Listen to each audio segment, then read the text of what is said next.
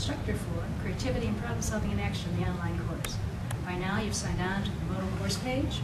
And hopefully, you've also updated your own profile because we all want to meet each other in this course. And maybe you've even looked at my profile. So for right now, all I'm going to say about my background is that I have had an interest in creativity for many years now, and I've taught it in many different formats. And I've also had the opportunity to attend CPSI. I don't know if any of you have heard of it, but it's the Creative Problem Solving Institute that's annually held by the Creative Education Foundation.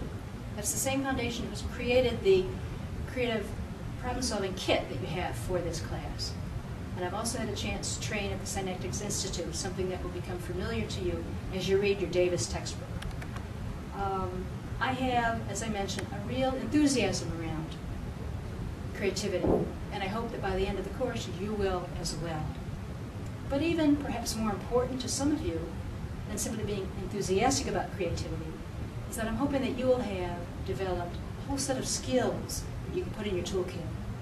So many of your co-workers uh, may be as good as you around critical thinking skills, but you will have the added advantage of creative thinking skills.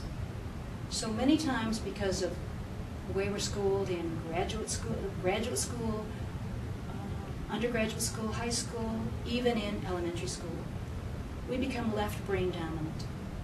We become very good at things like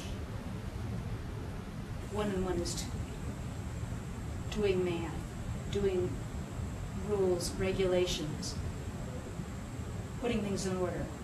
But it's the right side of the brain that is so often neglected in traditional education. And this course will help you develop that side of yourself, particularly when we talk about divergent thinking. And you've already begun perhaps reading about that in the Davis textbook, and we're going to learn more about that as we go along. And so join me in watching our next video.